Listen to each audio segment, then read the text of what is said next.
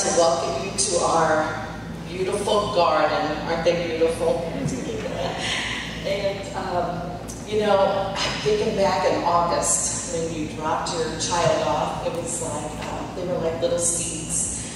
And they were just little, and um, but you had already put a lot into them. And uh, but you, we came alongside you, the teachers did, and um, and we helped uh, to grow. I kind of like to think of Miss Howe, who is preschool aide, and Miss Olson, who has been subbing for Miss Howe. She's been out uh, after her surgery. And then Mrs. Price and myself. I like to think of us as tools um, that God uses, like the shovel and the rake and the hoe and the uh, shears and all of those tools. And uh, He uses us to help um, to help grow your, your little seeds here. And um, so at the very beginning, they were really, really small, but they've learned a lot. And it's kind of like a plant needs. What does a plant need to grow? Water. Water. And what else? Sun. What else? Rain and air.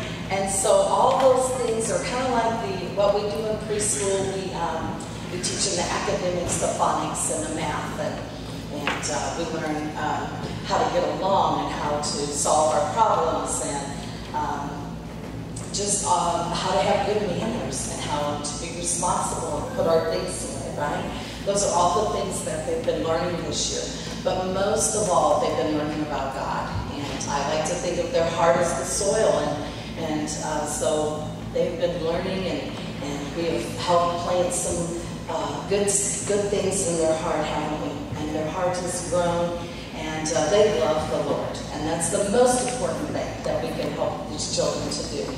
And I just, I just think, um, you know, they were, they, they were little sprouts and now they've, they've grown and they've gotten stems. And what else do plants have? Uh, leaves.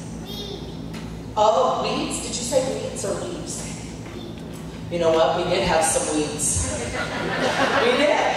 We had some. We had some rocks. We had some thorns and thistles, and we had to help get those out. And that is through the work of the Holy Spirit that He helps us to. That's right. That's how plants grow. You got to get rid of the bad stuff. So that's what we worked on, and uh, that's helped them to grow a lot. And I just think you know a lot of plants. Um, in the wintertime, it's their time to rest, become dormant. And so I hope that this summer will be a time of rest for you. And that it, I always tell the children um, if they can find a quiet place in their house, I know that's hard with siblings, brothers and sisters, but if you can find a quiet place to just shut the door and spend some time with the Lord, praying and talking with Him. And this is kind of their time to be dormant, to rest in the Lord, to be still before the Lord. And I hope that they have a chance to do that this summer. I know we all have busy lives, um, but I just, I just pray that they'll do that. And then when they come back next year, they are going to be strong plants. They are going to be ready for kindergarten. So I also, um, Miss Howe, and most of you know Miss Howe. She is the uh, pre-K A. And Miss Olson um, has been uh, subbing for, well, she subs all the time when we need a sub, but she's been in our class for four weeks, I think three or four weeks uh, while Miss Howe is recovering. And um, so, and I am Mrs. Dobbs, in case you don't know. okay, so the children now are going to come and tell you their names and then what their favorite thing at preschool was, and then the thing that they learned. They liked learning.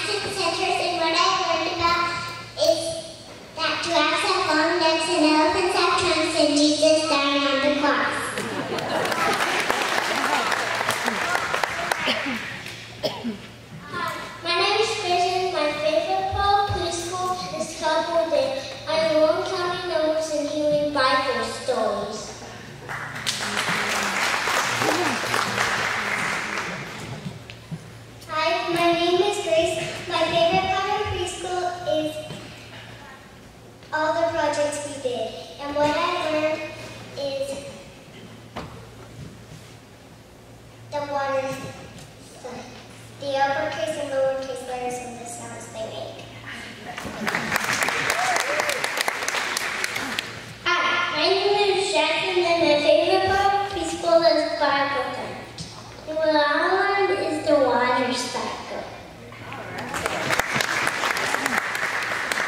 Hi, my name is Isabella. My favorite part of school is go, going to um,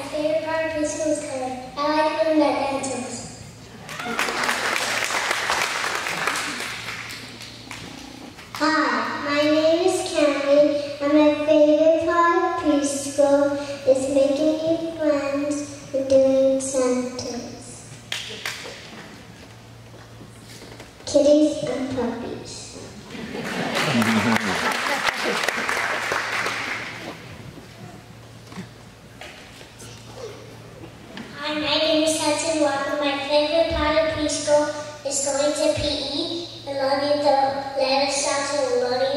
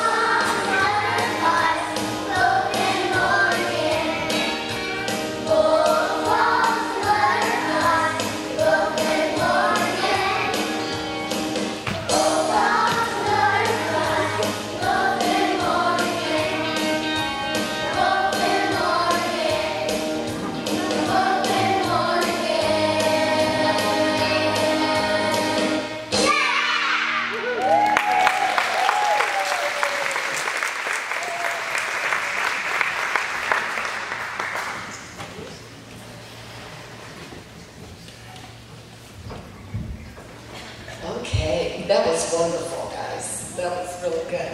Um, we have learned our ABCs. We went through the alphabet three times. The first time we just went through and learned the uppercase letters and the and the name of them.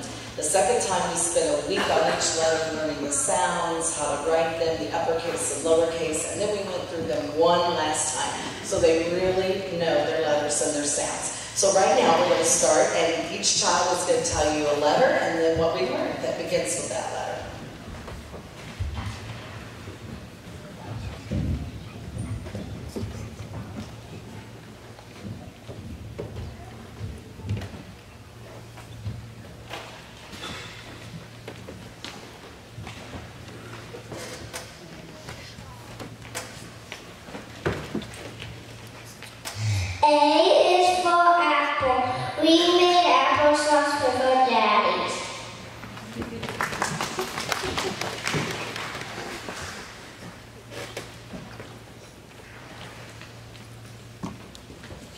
P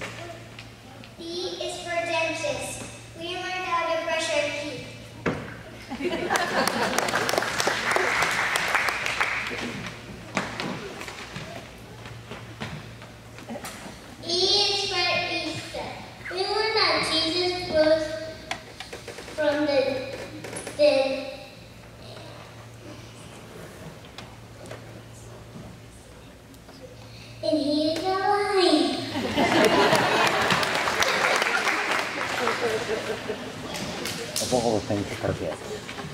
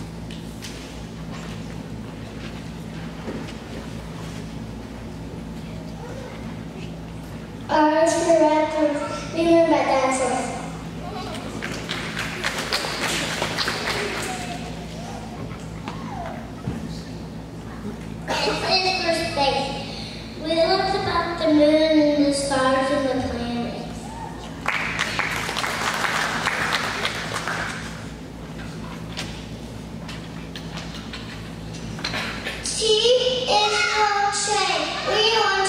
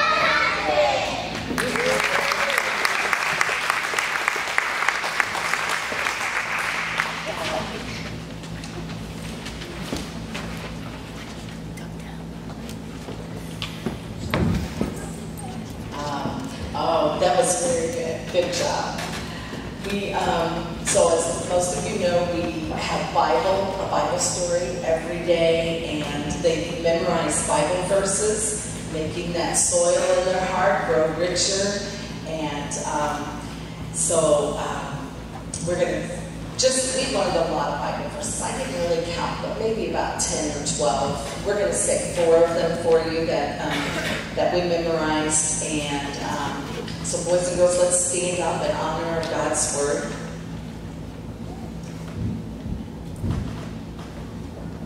Oh, we have Bible units, and a unit would last anywhere from two weeks to four or five weeks. And it was always like walking in courage or walking in kindness or walking in responsibility. So this first verse was walking in courage. No, first one is walking in obedience. I'm sorry, that was our very first verse that we learned, obedience.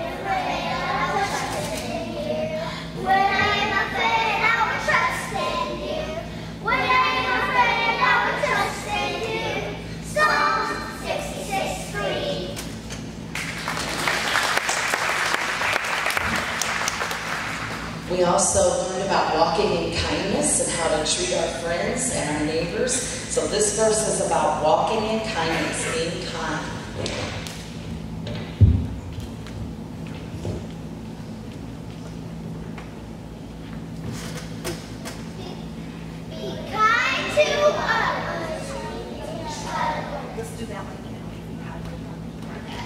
Be kind and loving to. Four, three, two.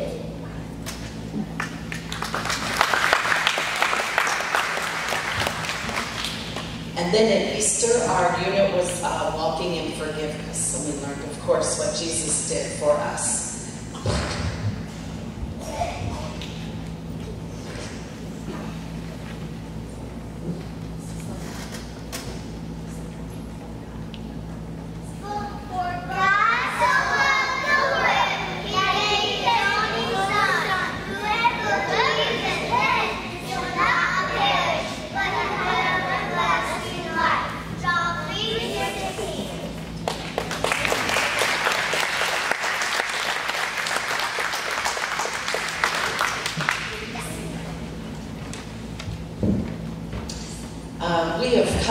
just know these children really well in the last nine months. And so it's really hard to pick one Christian character for them because they really have a lot of uh, these characters. But Miss Howe has been um, working on it while she's been recuperating at home. And so she is going to present these awards to them.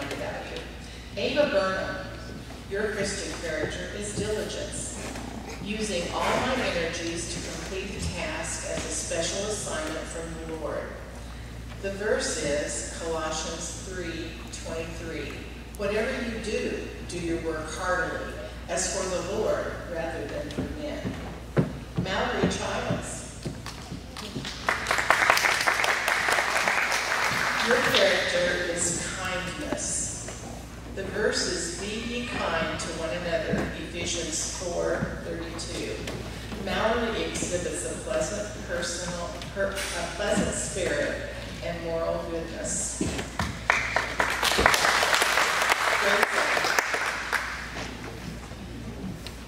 Grayson's character is truthfulness. Therefore, laying aside falsehood, speak truth, each one of you, with his neighbor, for we are members of one another. Ephesians 4:25. Earning future trust by accurately reporting past facts. Grayson has one of the deepest feelings about truth of any child I think I've ever met. If he's made a mistake, he's not going to blame it on someone else. He's going to say, I did it, and I'm sorry, and I'll do better. If children are arguing and you don't know who's at fault here, Grayson can accurately report so that you can help that child to know how to do it a better way. Grace Herzog, persuasiveness. Gently teach those who oppose the truth. Perhaps God will change their hearts and they will believe. 2 Timothy 2.25. This is urging others by using God's word to change their thinking and conform to their viewpoint. Easter was a hard time because we have the conflict of Jesus or the rabbit.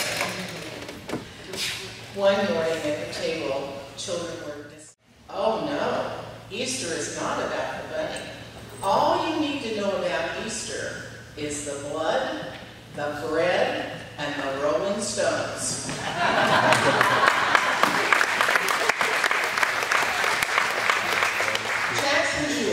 orderliness. But let all things be done properly and in an orderly manner. 1 Corinthians 14, 40.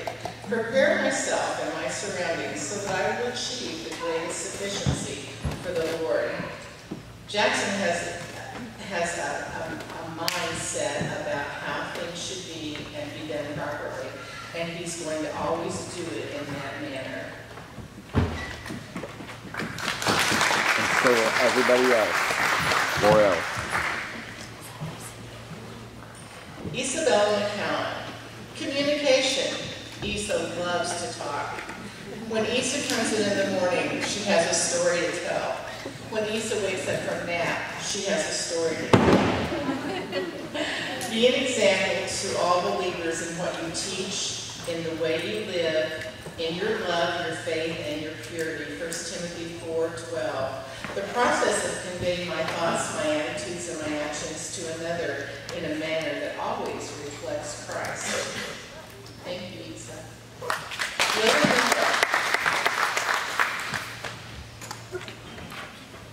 For Lily, I chose enthusiasm. Lily wasn't exactly sure she wanted to be here the first day of school, but it didn't take long before she was very eager to do everything in school. Enthusiasm is what I chose for Lily. And whatsoever you do, do it heartily as to the Lord, not unto men. Colossians 3 2. Lily allows God's energy to be expressed through her mind, her will, and her emotions. Ava Fairburn. For Ava, I chose joyfulness. You can look at her face and see the joy. A joyful heart makes a cheerful face, but when the heart is sad, the spirit is broken. Proverbs 15, 13. Ava has an outward expression of her inward being, and that results from having a genuine harmony with God and with others.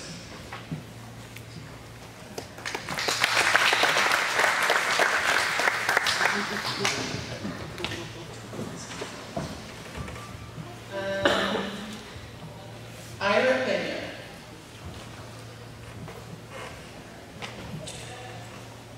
Ira, your character is initiative.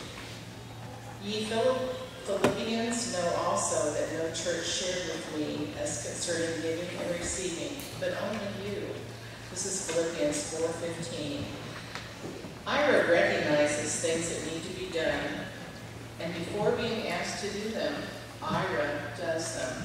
Ira loves dinosaurs, and when our dinosaurs were dirty after play, Ira, without being asked, took them to the sink and gave them a bath. Thank you, Ira. Lara Steele.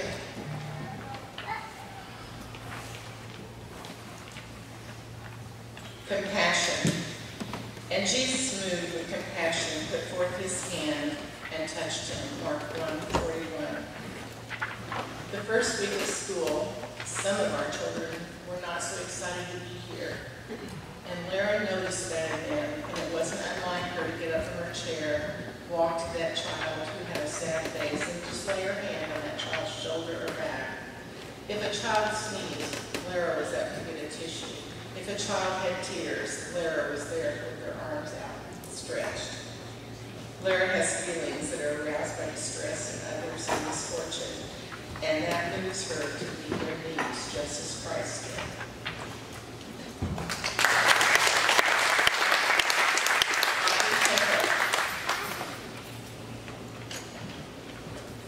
Audrey, your Christian character is humility, having an attitude of lowliness that elevates God and submits to His Word. He, being Jesus Christ, must increase, but I must decrease. John 3:30. This is the way Audrey lives her life. She's very humble. Mary Kroger.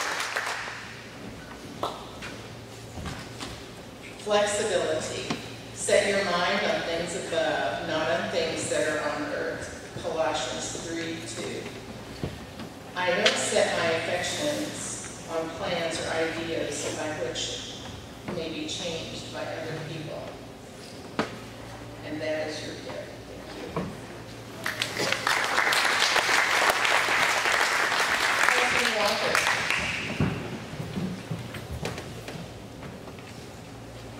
Hudson has confidence. I can do all things through Christ who strengthens me. Philippians 4:13. Hudson relies on the Lord to enable him in every area of his life. Jacob.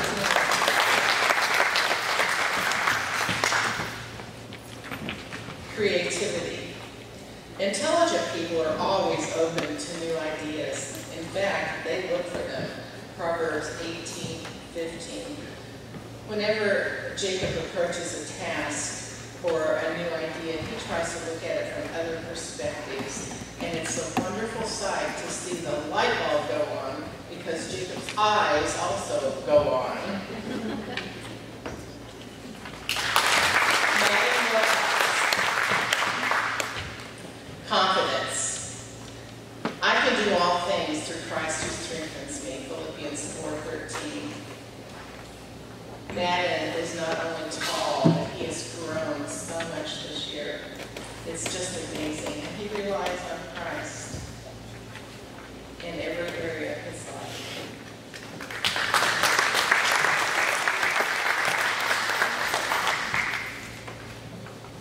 Camry Thompson. Joyfulness. A joyful heart makes a cheerful face, but when the heart is sad, the spirit is broken. Proverbs 15, 13. Camry always has an expression of her inward being. She smiles at everyone and wants to be everyone's friend.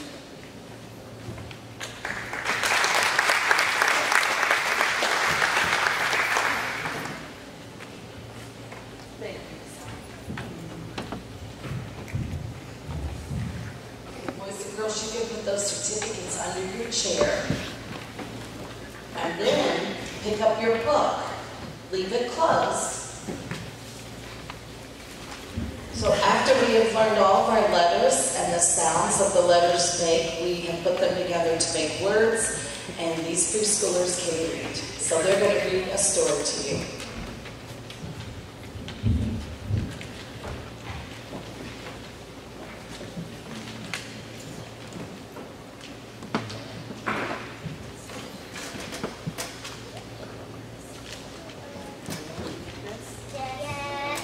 Tell your parents the title.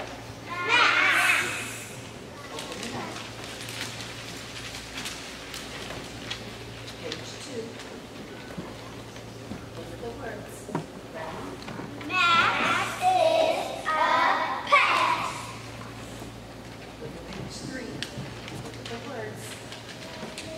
Max is wet.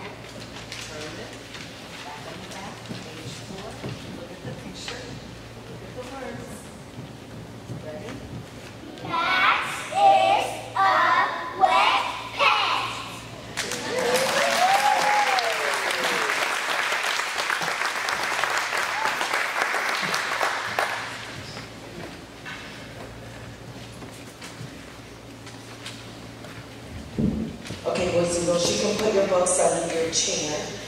And when it's time to leave, it's almost over, but when it's time to leave, you get to take your